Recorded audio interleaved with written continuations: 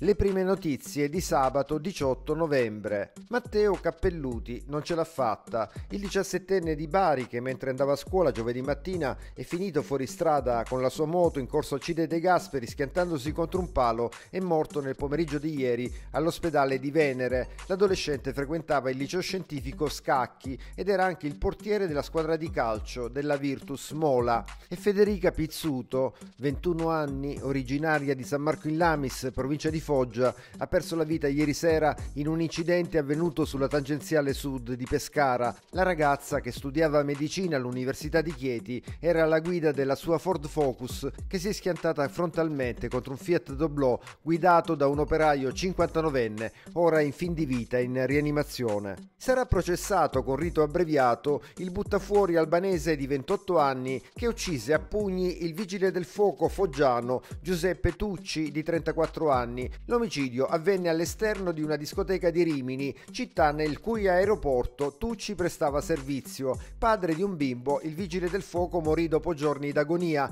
L'omicida è da 5 mesi in carcere. Mamma, papà e figlia di 7 anni di Fasano sono stati spiati per settimane con due microcamere collocate nella loro abitazione. È stata la donna ad accorgersene insospettita da una spia luce rossa nell'aspiratore del bagno. La procura sta indagando per scoprire scoprire chi abbia collocato le telecamere e se le immagini siano state registrate e diffuse su siti di wire o pedopornografici. Patrizia Daddario si è incatenata ieri davanti al tribunale di Bari, la donna le cui rivelazioni nell'estate 2009 fecero scoppiare lo scandalo delle feste con l'escort a casa di Berlusconi, sostiene di subire da 15 anni ingiustizie e di essere finita all'inferno dopo aver raccontato la verità. Ha chiesto di parlare con un magistrato Stato. Per la prima volta al centro-sud sono stati eseguiti due interventi di chirurgia fetale all'ospedale di Venere di Bari. Hanno interessato due donne, entrambe al quinto mese di gravidanza gemellare, una con due feti e l'altra con tre. In entrambi i casi i feti erano affetti da una patologia tipica dei gemelli, per cui un feto riceve poco sangue e l'altro ne riceve troppo, mettendo a rischio la vita di entrambi. L'intervento consiste nella laser coagulazione.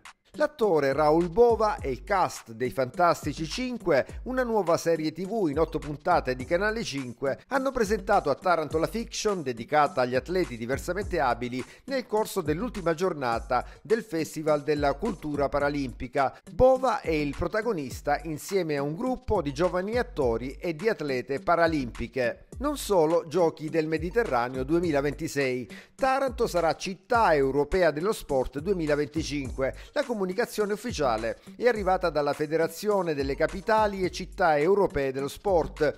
Per ottenere il riconoscimento Taranto ha superato l'istruttoria durante la quale sono stati valutati i 12 requisiti richiesti. Meteo Oggi e domani in Puglia le temperature massime scenderanno fino ai 14 gradi di Bari e Lecce e ai 16 di Taranto. La minima invece si aggirerà intorno ai 10 gradi. Previsto però bel tempo ovunque, sole e nessuna precipitazione. Allerta gialla della protezione civile invece per venti da forti a burrasca in rotazione dei quadranti settentrionali con forti mareggiate lungo le coste esposte. Prestare come sempre in questi casi la massima attenzione. Queste le prime notizie di oggi, appuntamento a lunedì mattina.